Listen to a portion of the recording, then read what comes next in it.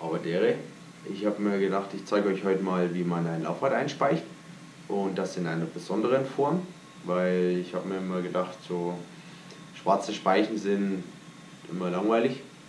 Und jetzt haben wir gedacht, ich nehme mal farbige, um ein bisschen Akzente setzen und ein anderes Design einfach ein bisschen Farbe ins Spiel bringen. Ja, jetzt habe ich mir gedacht, äh, Hauptdeck HD Felge, wenn ich ähm, genau da, wo der Schriftzug ist oder diese, ähm, dieser Aufdruck, äh, weiße Speichen nehmen oder nehme und da überall, wo schwarz ist, schwarze Speichen.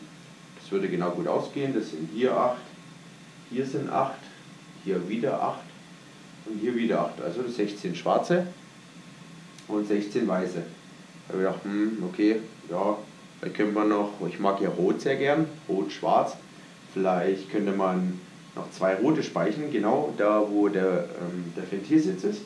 Genau daneben, links und rechts, eine rote Speiche hochgehen lassen. Vielleicht noch ähm, mit roter Folie einen Akzent setzen, so über von einer zur anderen Speichenloch. Ja, könnte cool ausschauen. Das probieren wir mal, weil ich habe nämlich heute Post bekommen. Das machen wir jetzt dann mal auf. So, jetzt habe ich hier ähm, noch rote Folie. Da probiere ich jetzt gleich mal was aus. Schneiden wir da mal einen Streifen. So. Ungefähr.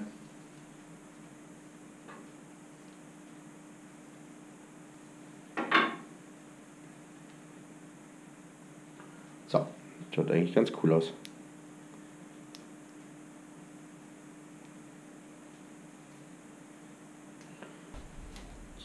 So.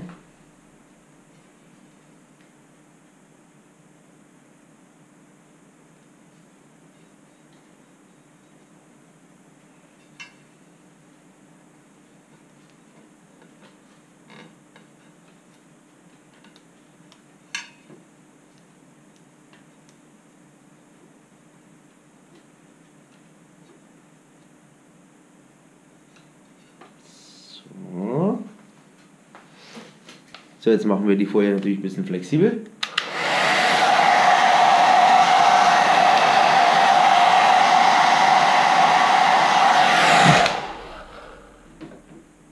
Dann Schalten wir das da mal ab.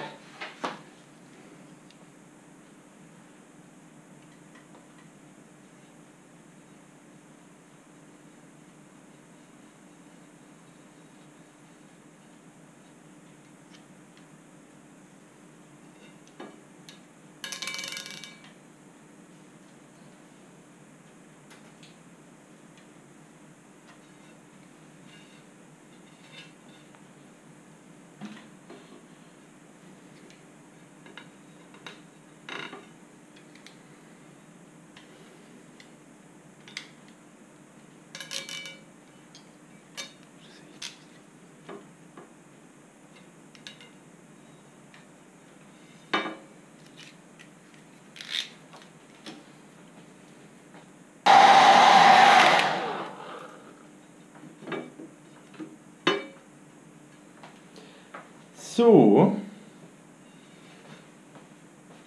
So schaut das jetzt aus.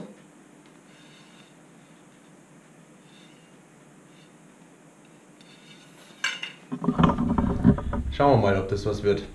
So, jetzt haben wir mal die Location gewechselt, weil draußen ist mir einfach zu kalt. Da gehen wir heute ins Gästezimmer. Post. Ähm, machen wir jetzt mal auf und dann schauen wir mal, was da drin ist.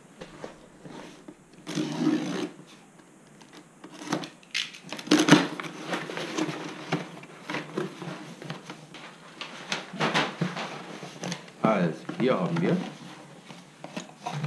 eine neue Narbe.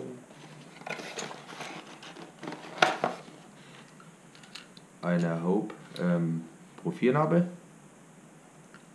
Ja. Super.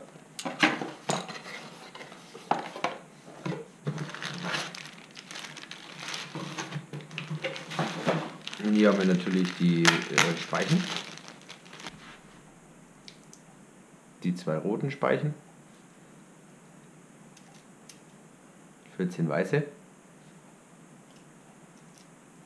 Und 16 schwarze. passende Nippel dazu. Zwei rote. 14 silberne, weil weiße gab es leider nicht. Und 16 schwarze.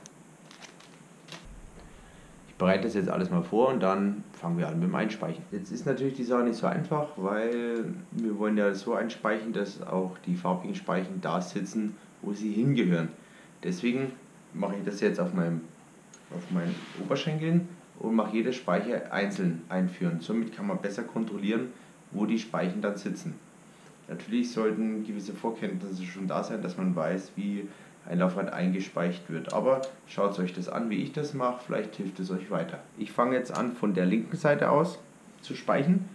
So, das heißt, ich mache es mir etwas einfacher und fange an mit einer roten. So, wir stecken von außen nach innen. So, jetzt kann man nochmal, wenn man schwarz hat, jedes zweite ähm, Loch kann man stechen. Ich fange immer oben an am Ventilsitz. Wenn man, wenn man hier sehen kann, hat auch hier diese Felge Moment, jetzt äh, Speichenlöcher, die nach links und nach rechts weggehen. Wir brauchen natürlich das, was jetzt nach links geht. Also fangen wir vor dem Ventilloch an. Das heißt, ich möchte ja hier eine rote haben.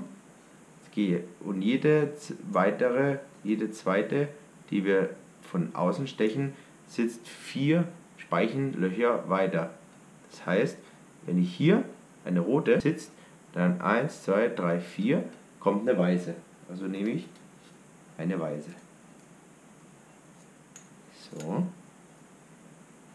I. Dann haben wir 1, 2, 3, 4. Eine schwarze.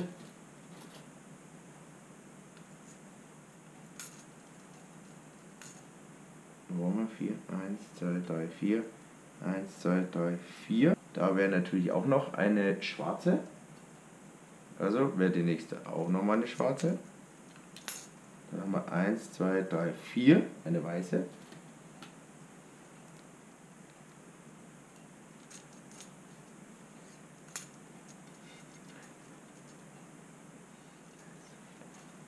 Die nächste wäre auch eine weiße.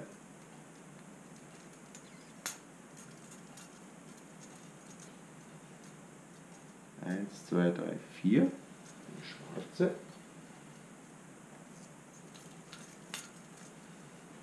1, 2, 3, 4 und wieder eine schwarze.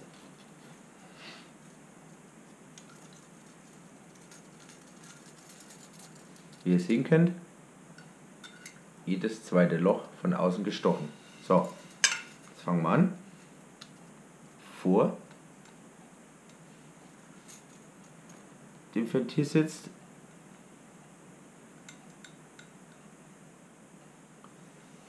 So die weiße. Was ich noch erwähnen wollte, macht bitte etwas Öl auf das Gewinde der Speiche. So, ins Weiße. Next one. Und immer, wie gesagt, das vierte Loch. So, Nippel.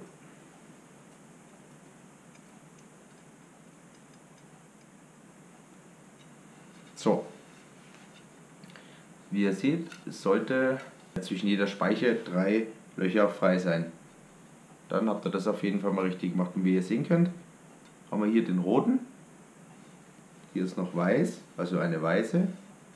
Schwarz, schwarz. Hier haben wir wieder weiß. Ne? Wieder weiß, schwarz, schwarz. Jetzt drehen wir die ganze Geschichte um.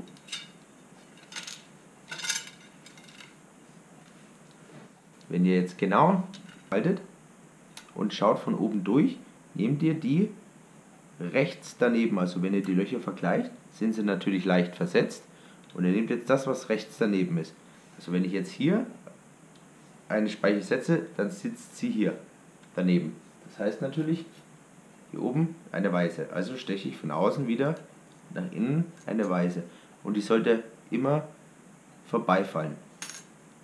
Sehr gut.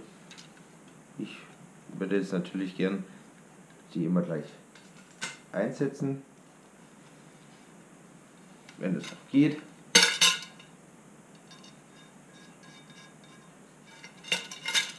So. Eins freilassen. Das wäre dann hier, also schwarz.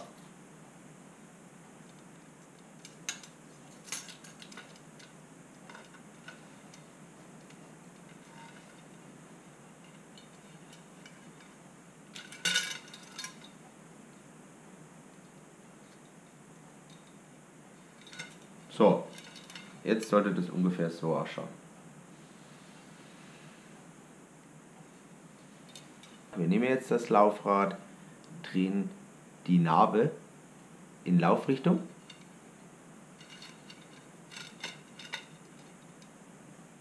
Ich fange gleich von der rechten Seite wieder an.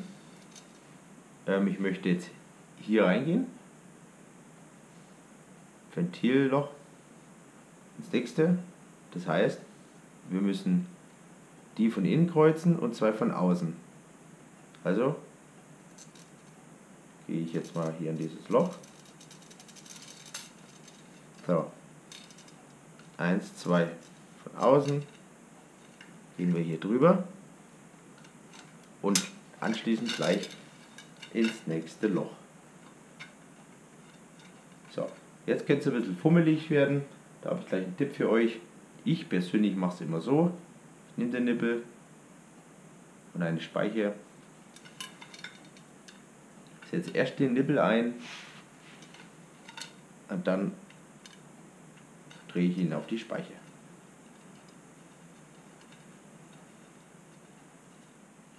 So.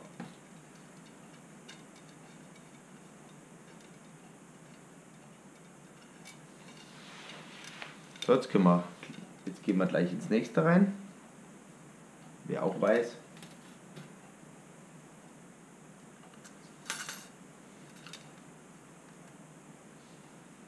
Heißt, wir kreuzen wieder zwei von außen, dann die rote natürlich von innen und ab ins nächste Loch. Das heißt, wir nehmen wieder eine Speiche, drehen zwei Gewindegänge auf den Nippel durch.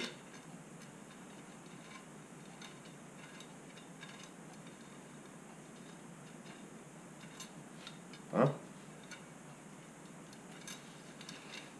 Nächste. Nächste wäre eine schwarze. Also, wir nehmen das nächste Loch. Und natürlich einen schwarzen Nippel.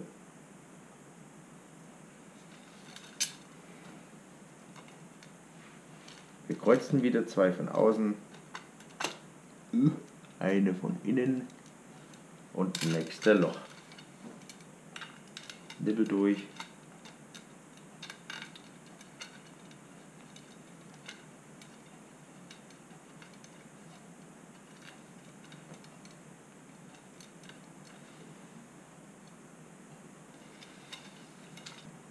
So. Jetzt kann man auch erkennen, dass überall drei Speichen zusammen sind. Jetzt drehen wir die ganze Geschichte um. So, wir müssen natürlich zwei von außen und eine von innen kreuzen. Das heißt, ich würde jetzt nach der, also in dieses Loch gehen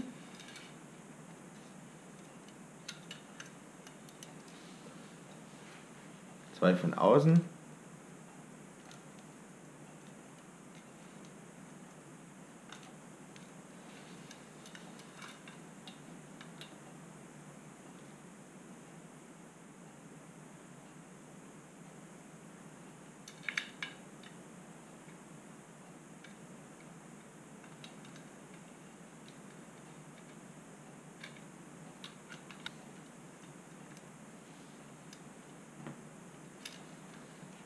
Und dann gehen wir gleich weiter.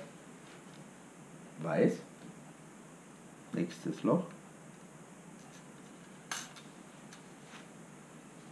Zwei wieder von außen. Eine von innen kreuzen.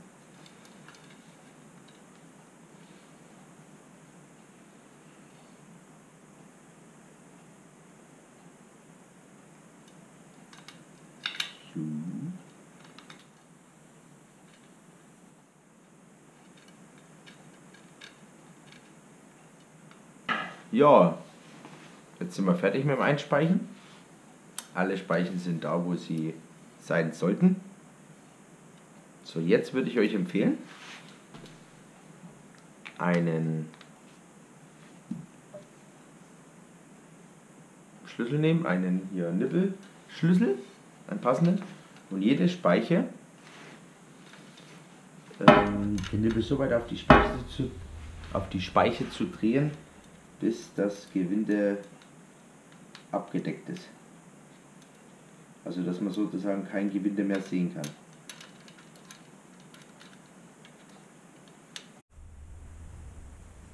So. Wir alle nachgezogen, bis das Restgewinde, bis man kein Gewinde mehr sehen kann. Dann sollte das ungefähr so ausschauen.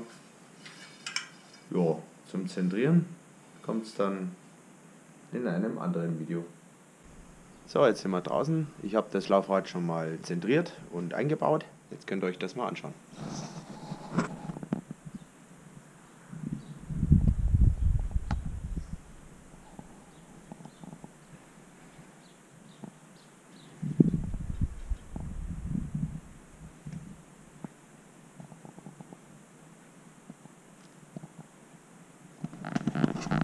Ähm, hinten habe ich das auch schon gemacht. Ich finde, ich persönlich finde das schaut toll aus. Mir persönlich gefällt es ganz gut. Wenn euch das Video gefallen hat, lasst mir ein Like da und abonniert meinen Kanal. Danke fürs Zuschauen.